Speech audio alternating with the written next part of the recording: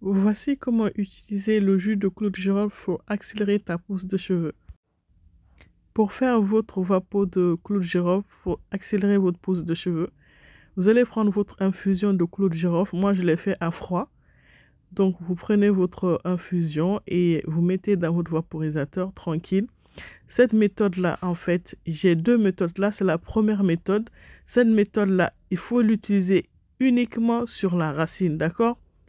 Uniquement sur la racine. Je vous dirai après pourquoi vous ne devez pas l'utiliser sur la longueur des cheveux. Donc, vous prenez juste le jus de clou de girofle que vous avez laissé infuser et vous mettez sur votre cuir chevelu.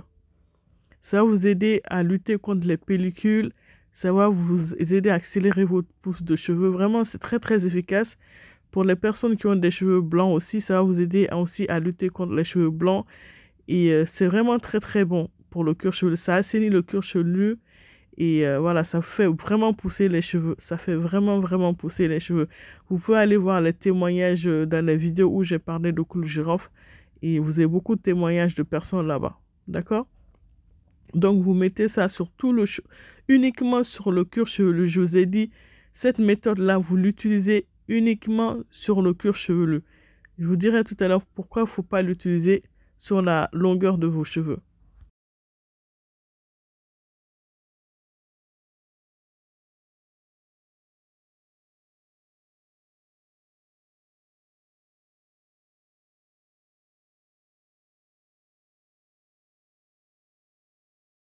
Donc prenez le temps de bien masser le cuir chevelu pour faire pénétrer le jus de clou girofle, ok?